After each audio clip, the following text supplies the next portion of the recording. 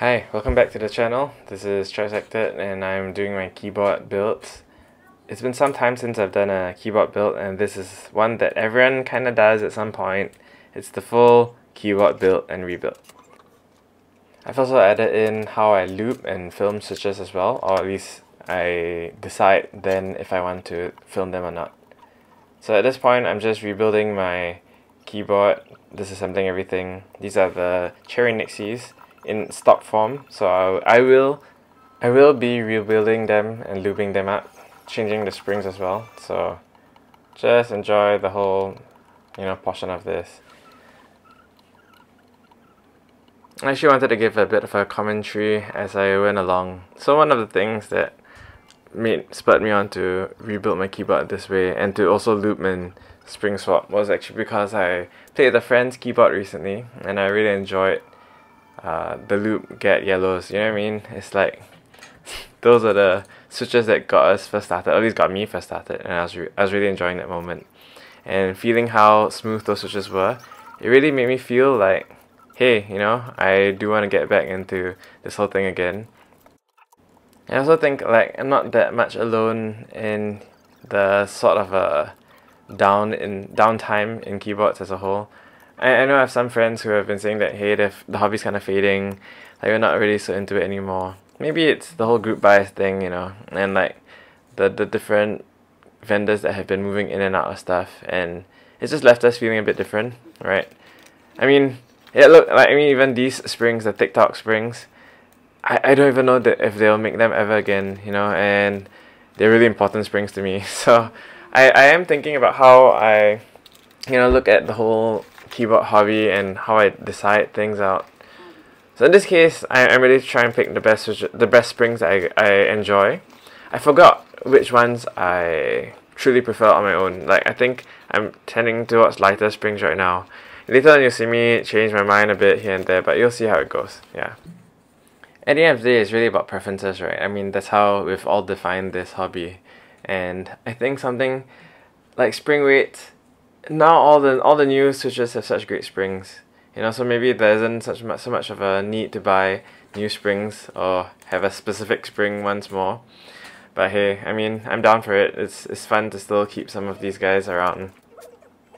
And talking about some of the things I used to do, I I haven't done this for ages. Like putting a putting a whole switch apart, right, and having little boxes for them. You know, I was actually trying to find off off camera. I was trying to find like my rails that I used to hold my bottoms of the switches. and I couldn't find them for the life of me. like I, I really don't know where they are. And I after I've done all my builds recently, I found them again. I mean, that's really crazy, right? But hey, that's what's happening. Slowly disassembling switches.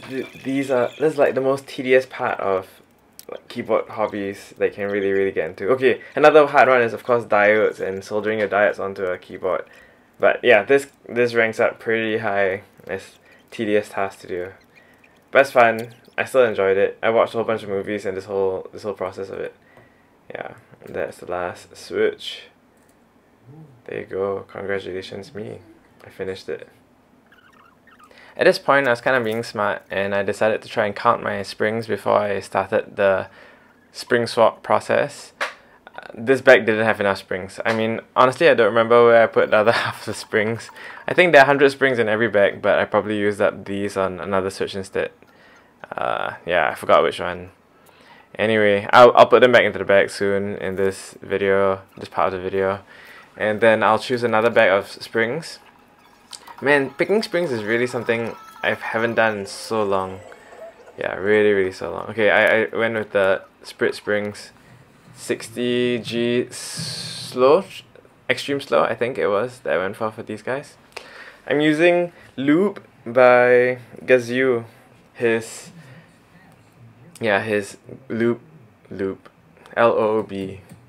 Uh, this is my lubing process, doing the side rails first, and I kind of hit the middle and the bottom later. Okay, I'm taking apart these springs. I should have counted these as well. I, I didn't count them because I was kind of in a rush a bit. I shouldn't have rushed it. Anyway, hand lubing the springs at the bottom first. Yeah, putting a good sizable chunk on it. Slotting them down. And then folding up with the top bit. There is really quite a bit on the spring. Yeah, and then I get the top slider, the stem, sides. I'm I'm kind of hitting it pretty generously. Right. Can actually bring it closer to camera. Sides, bring around all the sides. Linears are easy this way. I mean that's great. yeah, and then the insides. So that really helps the spring sound. I can't stand the spring ping. Like it really gets to me. Yeah, just even everything up. I actually do some of a double coat later. Yeah. Okay, and slotting this one down. So I will actually test this guy out um, with film as well. So you'll see the film coming on in a short bit. I still like my Deskeys film. I still use it today. I had to buy a whole bag because I realized that I don't have them anymore. So this is actually a brand new pack I think that I consolidated.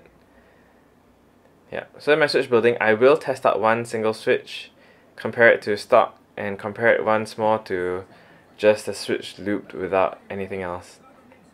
So that way, um, if the sound sounds okay without film, I won't film the rest of the switches. I'll just test out one one. Yeah, saves you a lot of time. Because I mean, if it sounds the same and you don't have to do films, then why not, right? So, yeah. Okay, top housing around the sides like that nice thin layer and slotting it in. Oh, spinning this round. Such a pain. yeah. Click. Click, click, click. Yep, so I'm testing out sound. I actually will listen to them both. Yeah, so I'm just pressing around just to hear it for myself a few times.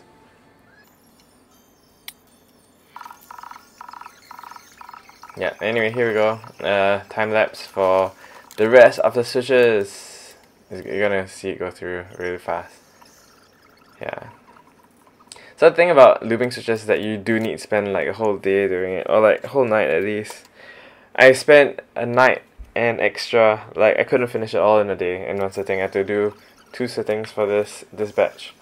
Maybe it's cause it's a hundred switches and also my phone died like my battery died at the end of this set but yeah.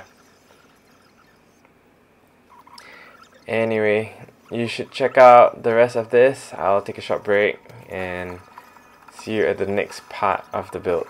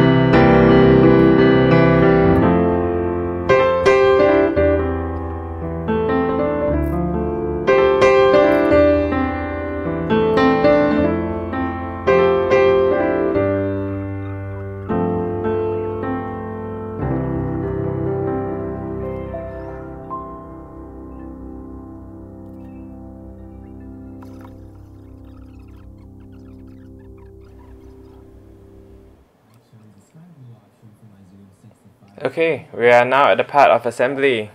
Uh, that's the part where my battery died. If you guys were hoping to see the rest of it, my battery died. And then, yeah, we're here doing the stabs.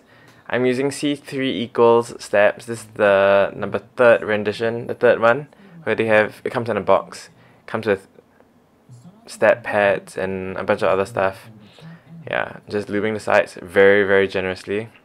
Again, using Loob, as in Gazzew's Loob, L O O B. Uh, usually for the wires, I use the dielectric grease and it works out pretty well. Yeah, so usually I stick it in this way, meaning I lube the main housing first, then I put in the stab stem, and then I lube the stab stem itself. So, sort of getting it a bit more, you know, a bit more efficiently instead of just trying to spam it with, with lube. Yeah. All around, and then I dip it in. I actually do use a brush. I mean, oh, there you go. I've I've used the brush actually. My I think my phone died again. Oh, ran out. Of, I don't know. It ran out something, and I have I had to stop the clip. Yeah. So anyway, I use a brush to stick in the lube on the insides of the stem too, and then at this point, I'm screwing them on. It comes with all this hardware as well, as in that box of C3 Gold stabs. I and with the stab pads and the whole kit, I think it really works out really well. Like 30 Sing dollars, 20 something to 30 Sing dollars for one pack. It's worth it if you know what you're doing, and for this build, I only have two stabs because it's a 40%. This is the Prime E board. Uh, Prime E meaning from Prime Elise. It's a 40% version of an Alice, which is, you know, a split keyboard layout, yeah. Not a full split, but a split enough. Yeah. So I do tighten a second time after just to make sure everything's on tight. Yeah, and then I test that out with a switch running on. So this is a soldered board, so you can see I can just put it in. I got I got no, yeah. I tested the whole board and all that. It works completely fine. Used it a whole bunch of times. Yeah, so I'm testing it with uh, a keycap. Just to see how it feels. Feels good This is the other one? Is it fitting? Yeah.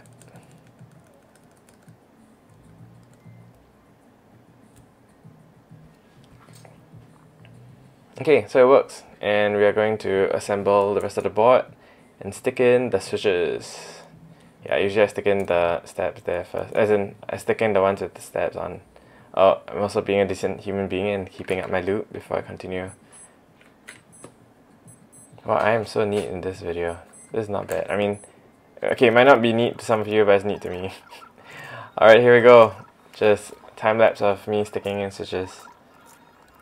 One by one. I like this build a lot. Prime E is one of my favorite boards because it's a sandwich board and it works out pretty fine. It's got one of the best sounds I personally feel. A stack acrylic build.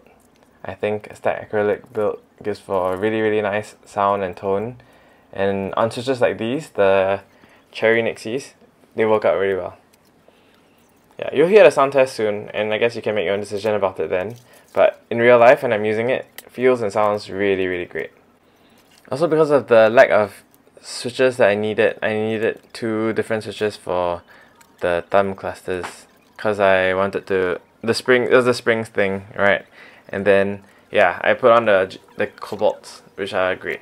Cobalts are really really great. Yeah, so this is me doing the soldering thing. have not soldered for a very long time. Yeah, I was pretty rusty. Forgot how to press in hard and all that kind of stuff. I'm actually using pretty inexpensive soldering iron, like the iron feet. It's it's from AliExpress. It's a decent price. It melts low, so it makes it easy to solder uh, but also not too low so it doesn't you know melt away too easy uh, very easy for removal so when I desolder it's a lot easier to use yeah so that's kind of how I think about my soldering things anyway time-lapse video catch you in the next part of the build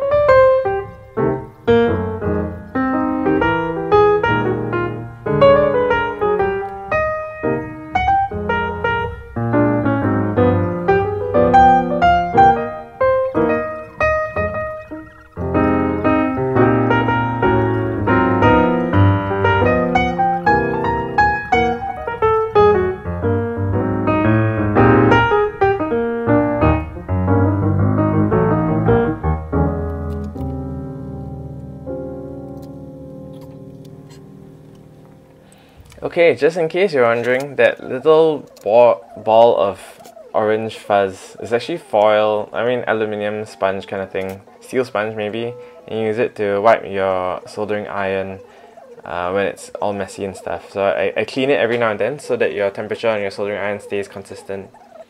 Yeah, anyway, so here you go, um, assembling the keyboard back, stack acrylic build like I said, sandwich mount for this one. Sandwich mount means the top and bottom squeeze the plate. And in this case it's a acrylic plate. Yeah looks really nice. Sounds really great. Love it. And I'm using really nice keycaps. I think this was my first opening or my first use of DMG3 here we go and the DMG DMG3 set is on. Man I really really took a long time to decide if I wanted to get DMG3 um, I only got in a third round, right? So that's pretty late. And I think this is my last GMK order, or pre-order for that matter. I have not done a group buy since two years, you know, it's been literally like two years ago. 2021, and now it's 2023. Anyway, yeah. Yeah. Okay, so another thing is compatibility for the 40% of the Prime E. As you can tell, my control key that I put there and the tab you know, it's gonna be different. Here we go, I'm just making whatever work. It, it doesn't match, but it's okay. I'm alright, I got used to it.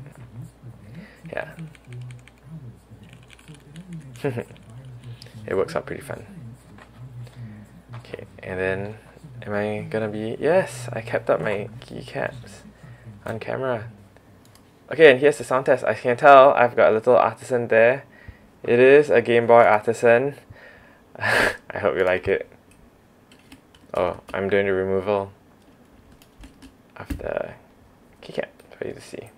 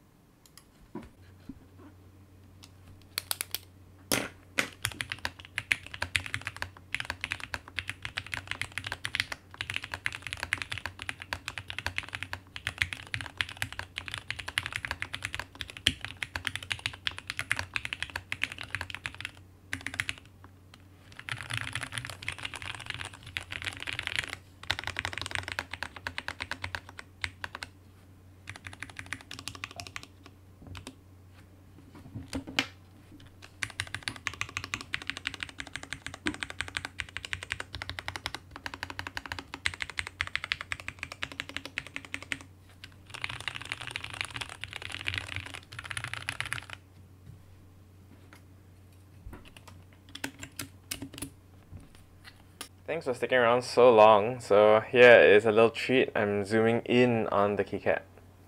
There you go. After Artisan keycap in all its glory. Yeah, very fun. Alright, thank you all for catching up with this. See you in my next video. Bye!